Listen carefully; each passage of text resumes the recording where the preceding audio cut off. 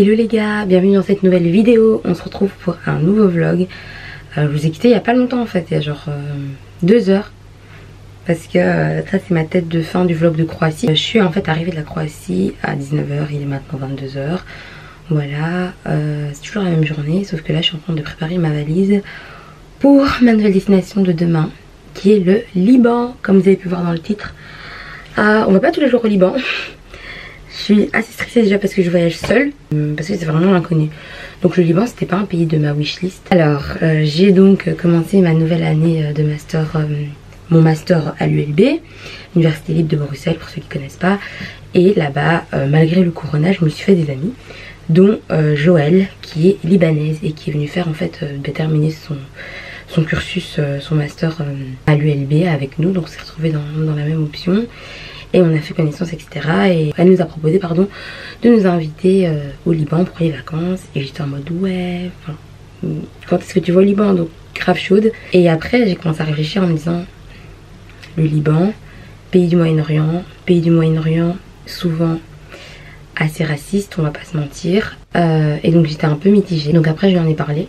Et j'ai bien apprécié parce qu'en fait euh, bah, elle a pas du tout nié. En fait elle a dit qu'effectivement effectivement, ce qui est ressorti par rapport à la manière dont les Noirs sont traités au Liban, etc., ben, c'est la vérité, mais qu'il y a des gens qui sont comme ça partout en fait en soi. Donc, soit.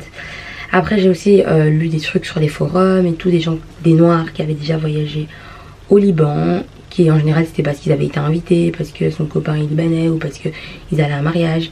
Et en règle générale, euh, le truc qui ressortait c'était que ça s'était bien passé. Donc bref, ça m'a rassurée et je me suis dit, par dans ma vie, j'aurais plus jamais l'occasion d'aller au Liban. C'est pas un pays où tu vas comme ça. Du coup, je me suis dit, euh, allons-y, allons découvrir notre culture. De toute façon, partout où on voyage, euh, les gens n'aiment pas les noirs. Donc, a un moment, faut arrêter. On va pas être hypocrite.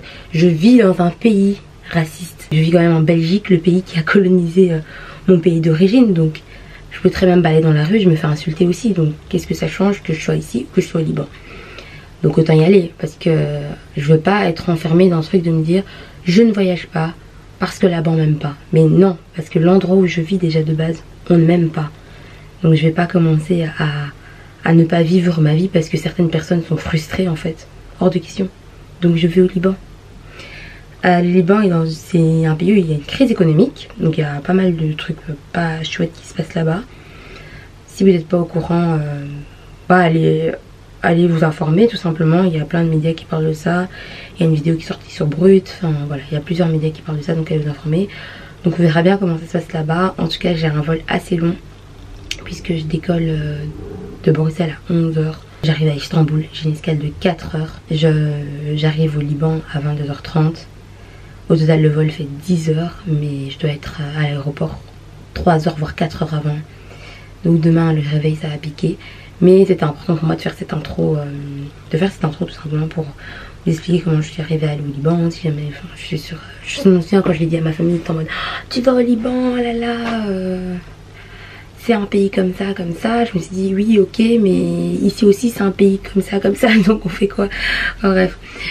Donc j'ai très hâte, hâte euh, de retrouver Joël. Et il y a aussi, donc il n'y a pas que Joël, il y a aussi euh, mes autres amis qui sont déjà là-bas depuis le 3 septembre, euh, trois garçons, donc que j'ai aussi rencontré à l'ULB. Donc c'est vraiment des amis de cette année scolaire. Ça fait euh, à peine un an que je les connais. En plus il y a eu Covid, donc il y a plein de... On ne s'est pas vu en fait. trois garçons, Léandre, Maxime et Antoine, que vous allez découvrir.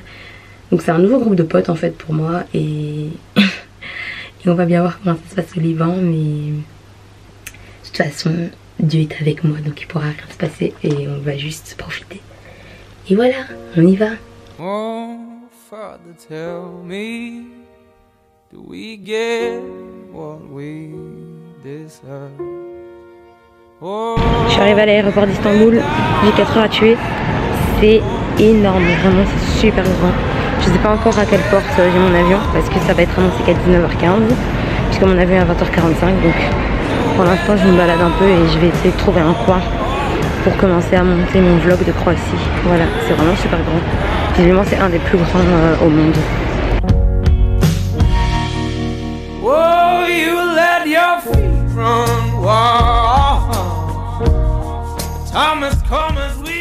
Je suis arrivée au Liban hier soir à 22h30.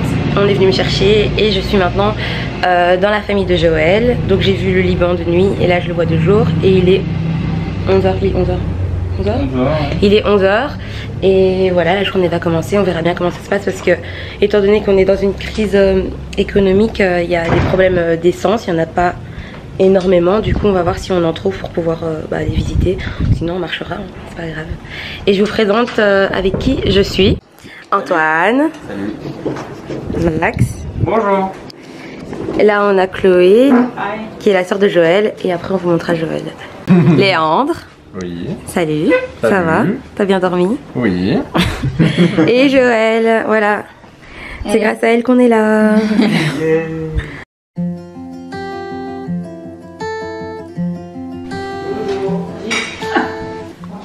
trop bon. c'est. vrai, Léandre, c'est bon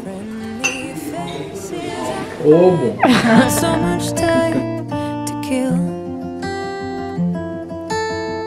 Just imagine people laughing I know someday we will. And even if it's far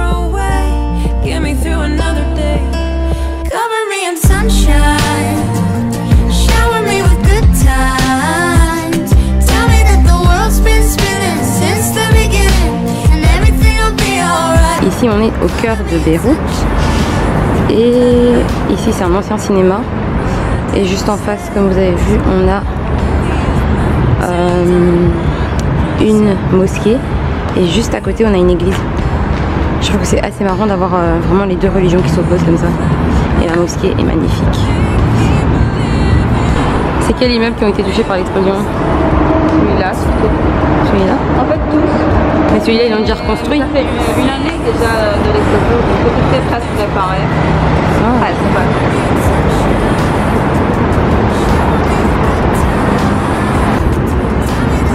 Ça représente quoi euh, la femme là?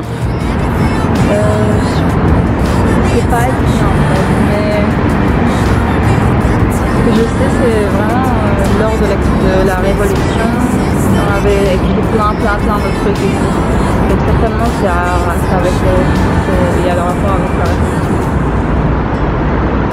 Mais je sais pas.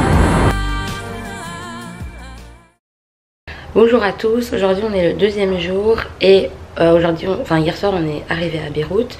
On a dormi ici euh, dans l'appartement de la famille Joël et on a vu euh, Beyrouth, le centre-ville de Beyrouth et un peu Beyrouth la nuit. On est sorti et tout avec avec tout le groupe. Et aujourd'hui on va aux grottes Jaïda qui euh, c'est un endroit qui a été nominé pour euh, être l'une des sept merveilles du monde.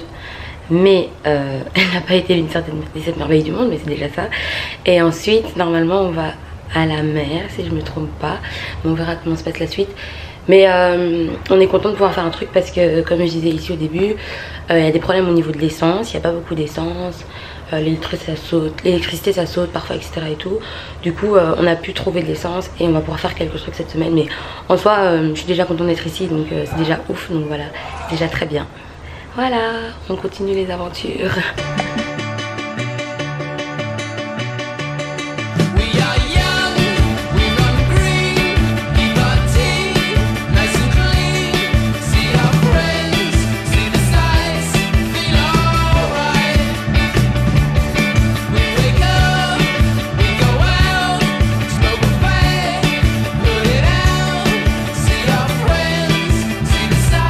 a vu des grottes, mais je pouvais pas filmer donc vous avez pas vu l'intérieur mais c'était super sympa.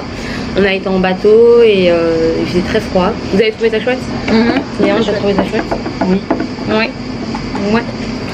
T'as trouvé ça chouette Chloé? Beaucoup. Voilà, tant mieux.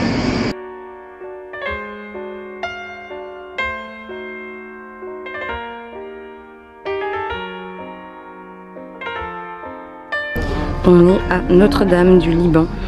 C'est magnifique, c'est vraiment trop beau. Slow down, you crazy child. You're so ambitious for a juvenile, but then if you're so smart, tell me why are you still so afraid? Mm. Where's the fire? What's the hurry about? You better cool it off before you burn it out. You got so much to do and only so many hours in a day.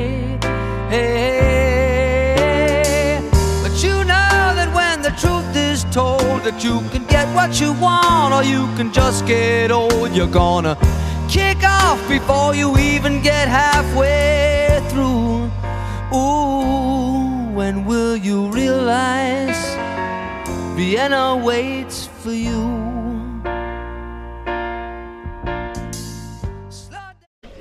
Bonjour, aujourd'hui on est euh, mercredi et on va à la mer, donc c'était pas hier mais aujourd'hui on va, on va d'abord dans le sud à Saïda et après on va à la mer. Donc je vais enfin voir euh, de près la mer du Liban donc j'ai hâte, visiblement c'est super beau donc euh, voilà.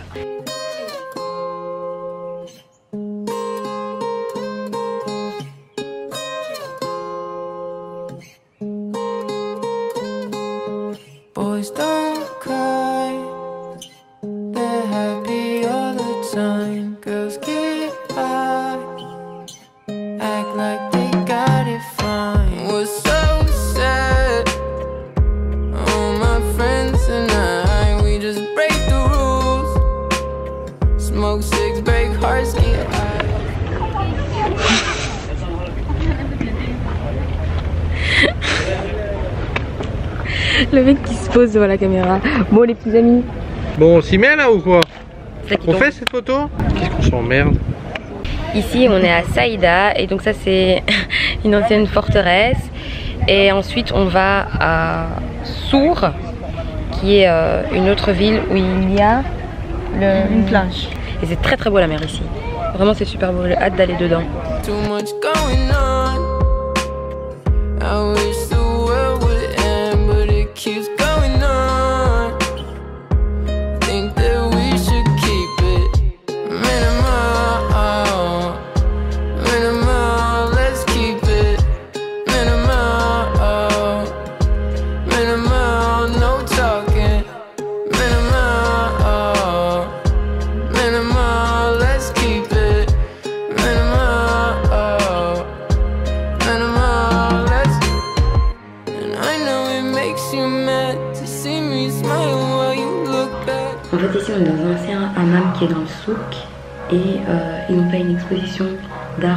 Dans l'ancien hammam et c'est trop beau. Les tableaux sont trop beaux. But sometimes just being alone is better than getting along. All my friends got issues too. We act like we got shit to do. It tastes like whiskey kissing you. Don't say you miss me, I miss you too. I need Visine. Got too high, got hit by the high beam. Fuck VIP. On vient d'arriver à Sour donc c'est la mer et c'est ouf parce qu'en fait Israël c'est juste à côté. Genre il y a un pic là-bas près de l'eau et c'est Israël, c'est tout proche. Hey, remember me? Remember love? Remember trying to stay together my time? You took it all. You tried to see. You tried to bring yourself up without involving me.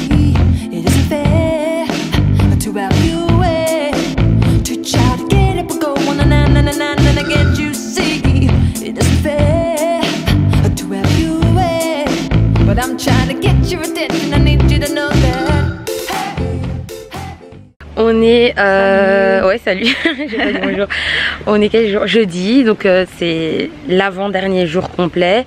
Et aujourd'hui on s'est séparés en deux groupes. Euh, nous on se promène dans la ville et après, enfin dans le village de Bamdoun où est leur maison principale. C'est une journée assez calme puisqu'en fait la première semaine ils ont fait plein d'activités. Moi j'étais pas là donc c'était bien fatigué quand je suis arrivée. Et donc avec moi on a fait un peu moins d'activités Parce qu'on n'a pas trouvé d'essence. oui aussi pour ça, Ouais. parce qu'on n'a pas trouvé d'essence, parce qu'il y a des problèmes d'essence. Mais ça me dérange pas puisque euh, j'ai déjà vu beaucoup de choses et, euh, et euh, voilà, je suis au Liban donc voilà, c'est très très bien. Et voilà,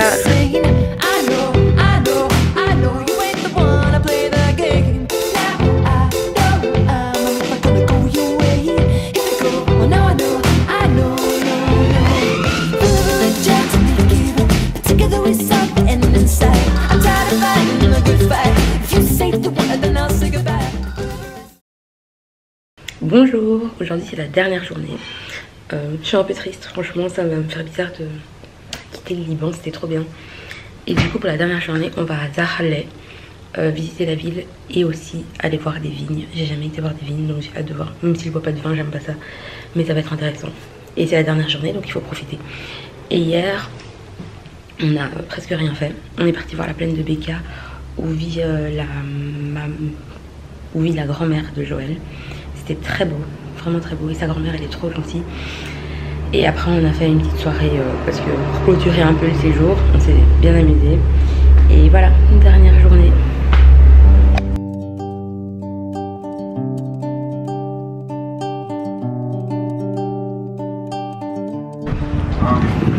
On va monter 14 étages pour aller voir la vue d'en haut près de la Vierge. Je ne suis pas prête. Moi non plus, je suis pas prête. ونكون حداك آه يا قلبي شوف هواك. وين رماني فوق بحر صافي بمواج وداني معاه. تبع رياح الحب وعندك حطني ودعني. وصاني وقال لي حبيبك ما تنساه. هي الزينة ما درتي فينا. أنا وقلبي حوسنا عليك ما لقيناها.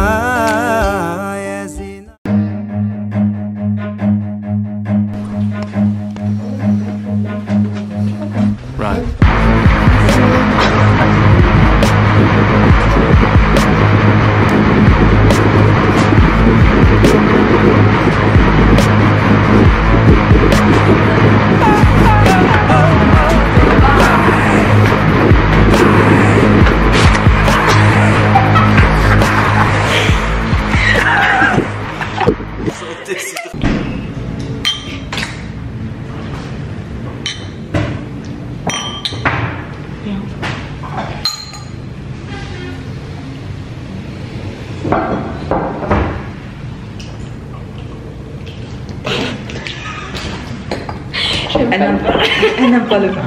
Vous aimez paleva Vous avez pas essayé de...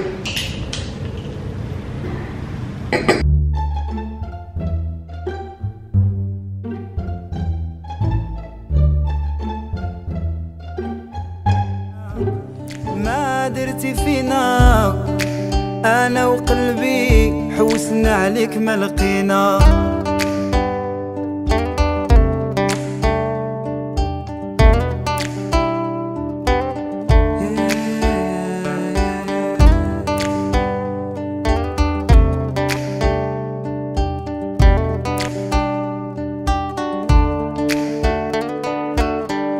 قالوا لي خرجتي في الظلام وعليا سولتي في غياب القمر بعيونك ضويتي قالوا لي عليك Archi sèche. Répète. Oh, il y en a un autre qui est horrible. Les, les chaussures. les chaussettes. Les chaussettes. Les chaussettes. De l'archiduchesse. Elle sèche, Fontaine chasse. Sèche, Sèche. archi sèche. Archi sèche. Il y en a un autre, c'est Franchement, ça vas-y. Ok. Mais non, mais l'accent. طب الجرة على تمها بتطلع البنت لأمها يلا ريبيت Mais on se ريبيت répète. Top. الجرة Jara. على تمها Atemma. بتطلع على البنت قد ما شوفي الجماعة قد ما تطلع على البنت لأمها شوفي قد ما بتطلع على البنت لأمها واو. واو واو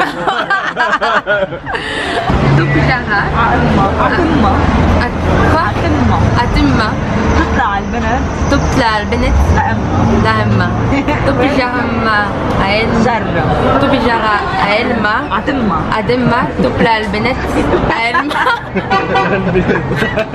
Mais c'est mieux moi que lui hein. Beaucoup plus mieux. Ah, طب الجرة عطمة طب الجبة طب طب. جرة جرة جرة جرة طب جرى. أتمة أتمة تطلع البنت لأمها. تطلع. تطلع. بنت البنات؟ بنت لأمها. بنت للبنت لأمها. لا, ولا بصراحة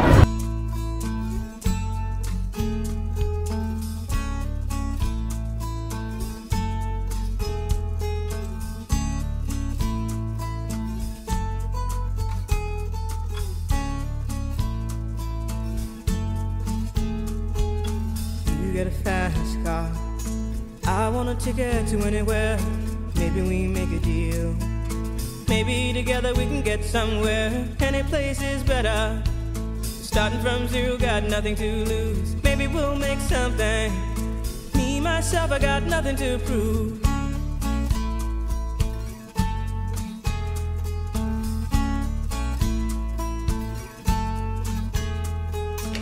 Salut, je suis rentrée en Belgique, je suis de retour. Mais euh, je voulais donc revenir sur, euh, sur ce voyage qui se termine. C'était un voyage très intense, je suis restée que 6 jours et pourtant j'ai beaucoup beaucoup beaucoup aimé le Liban. C'était vraiment un truc extraordinaire en fait. Je pense que ça se ressent dans le vlog, je l'ai pas encore monté en fait, je dis ça comme ça. Mais c'est complètement différent de l'ambiance de la Croatie parce qu'en Croatie j'étais vraiment là en mode... de euh, Enfin, one life en fait, vrai touristique et vrai touriste. Et là, euh, au Liban, on était dans, dans, la famille de Joël. Donc moi, je dormais chez elle avec sa sœur. Et j'étais dans la famille, quoi. J'étais avec ses parents et tout. Et ses parents sont si gentils. Enfin, sa famille est tellement accueillante et tellement gentille. J'étais juste trop contente, en fait, d'y être allée et d'être passée au-dessus de mes propres peurs et de tout ce qu'on m'avait dit que il y avait du racisme et, et etc. Si j'avais pas été, j'aurais jamais pu expérimenter le truc de de moi-même et de faire mon propre avis. Et mon avis, c'est que euh, c'est qu'il y a du racisme partout et qu'en tout cas, pendant ces six jours, je l'ai pas ressenti au Liban. Alors, je ne dis pas qu'il n'existe pas, parce qu'il est partout. Quand j'ai marché dans la rue ou quand euh, on allait manger dans des restaurants, je me suis pas sentie plus regardée parce que j'étais noire. J'étais avec trois garçons blancs européens, ça se voyait qu'on n'était pas de là. Les gens étaient hyper accueillants en mode Ah ouais, vous venez d'où La Belgique Ils étaient tous trop gentils et à aucun moment je me suis dit euh, Je suis mise de côté parce que je suis noire. Non, vraiment. Donc, euh, si vous avez la chance d'aller au Liban, allez au Liban et, n'ayez pas peur en fait. Euh, et c'est valable pour tous les autres pays en fait. Si on vous dit que c'est un pays raciste, ben j'ai envie de dire prenez vos précautions. Parce que finalement, faut toujours prendre ses précautions dans tous les cas. Mais faut pas s'empêcher de vivre le truc parce qu'on m'a dit que c'était un pays raciste. Je pense que si j'étais restée dans cette optique, j'aurais jamais été, j'aurais jamais vu mes propres yeux. Voilà quoi, qu'il y a des gens bons partout, il y a des gens mauvais partout, c'est tout. Et hormis cela, j'ai vécu ben, cette crise, euh, cette crise économique, cette crise politique avec, avec la famille Joël, avec les garçons. Et donc ce manque euh, cruel d'essence, finalement l'essence qui, l'essence qui permet de tout faire. Euh, le premier, la première journée complète que j'ai fait, on avait un problème avec l'essence, on a débattu pendant deux heures pour savoir ce qu'on allait faire. On avait d'essence et je me suis dit, ok, genre, moi je suis là pour six jours, mais eux ils sont là tout le temps et ça doit être si compliqué en fait de vivre ça, d'avoir un si beau pays en fait qui, est déchiré parce que euh, il y a des gens de merde, je suis désolée, qui sont au pouvoir, voilà, tout simplement. C'est ça en fait la conclusion, mais c'est triste et j'espère que ça ira mieux. Mais je suis contente d'être allée pour voir, euh, pour voir tout ce que Joël me racontait, ben, cette réalité des faits en fait, ce pays qui qui est euh, dans une impasse comme beaucoup d'autres pays, bien évidemment. Et c'est très triste parce que c'est un, très beau pays et on voit que c'était un grand un grand pays et que ça l'est toujours finalement parce que les paysages sont magnifiques et les gens sont très gentils et, j'espère que ça ira mieux. Malheureusement, je suis pas au contrôle et c'est très frustrant, tu vas là-bas et t'es frustré de te dire que tu peux pas les aider. Mais même s'il y avait tous ces problèmes, ben, le séjour il était, vraiment super et et voilà, et je vais arrêter de parler. Conclusion, j'ai beaucoup aimé mon voyage au Liban. C'est tout. Bonne journée, bonne soirée. Et à bientôt les gars. Sur ce, je vais dormir.